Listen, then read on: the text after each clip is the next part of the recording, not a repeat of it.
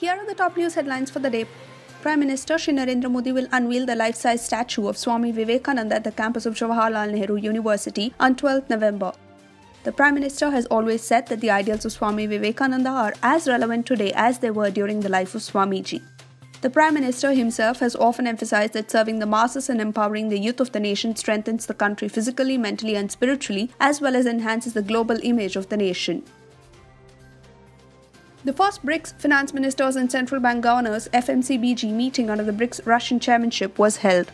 The agenda of the meeting included discussions on the outcomes of the G20 Saudi presidency in 2020, a digital platform to encourage infrastructure investment, and expansion of the membership of the new development bank.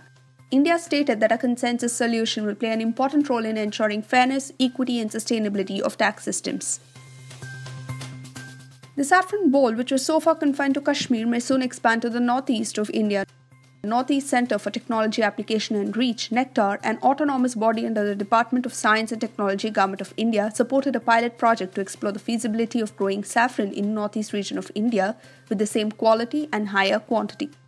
Similarity of climatic and geographical conditions between Pampore in Kashmir and Yangyang in Sikkim leads to successful sample farming of saffron in Sikkim.